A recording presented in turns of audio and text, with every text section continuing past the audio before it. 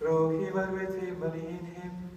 O God, Almighty Father, in the unity of the Holy Spirit, all glory and honor is yours forever and ever.